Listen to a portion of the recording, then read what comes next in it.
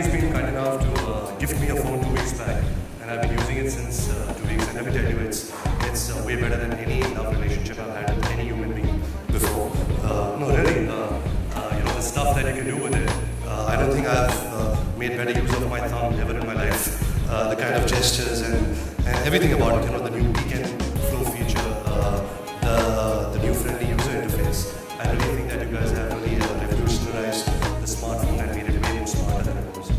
the camera, th- there is a feature called Time Shift, so check this out guys. I don't know if uh, Vivek uh, shared this with uh, them, but uh, if you click a picture of uh, you and, you know, someone, family member, or your girlfriend or your boyfriend, and uh, she doesn't like her expression, uh, so you can actually go back in time or forward in time and change that person's expression give a new picture. So it's like a science fiction movie, and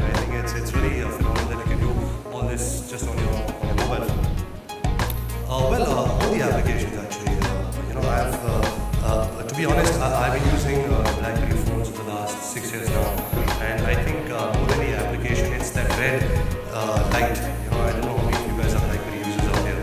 When that red light flashes, it's like something happens in your heart. whether it's like an action, something's happening, somebody sent you a message or an email uh, or something. I think that's that's the most exciting part for me uh, uh, about a BlackBerry phone. And you know, coming back to applications, uh, because BlackBerry has completely re, uh, invented itself and redefined itself, uh, the applications are easy to use. It's easy to download, uh, and you can have anything on, a, on a phone right now. You don't need a computer. You don't need a laptop